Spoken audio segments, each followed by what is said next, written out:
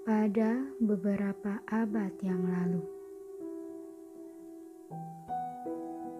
ada yang tiba-tiba diserang sampar atau kolera ketika berada di lorong-lorong kota. Beberapa abad kemudian, sebuah ledakan di langit terjadi.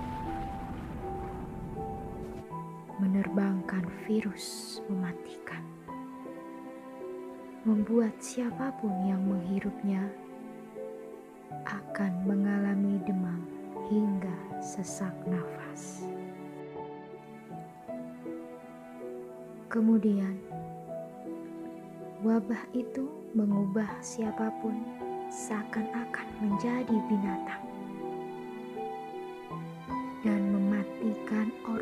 orang-orang itu secepat mungkin.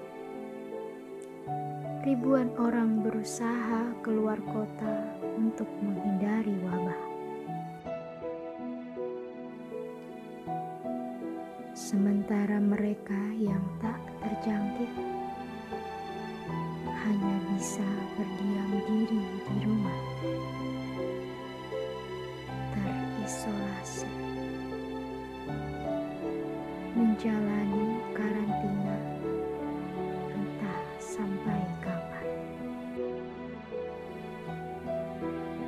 Akankah ada penolong yang datang?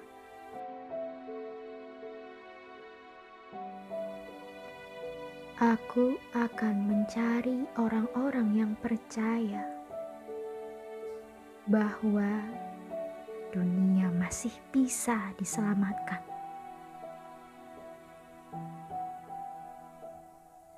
mencari orang-orang yang percaya sirna. Orang-orang yang masih percaya pada harapan. Bersamaku, manusia penuh harapan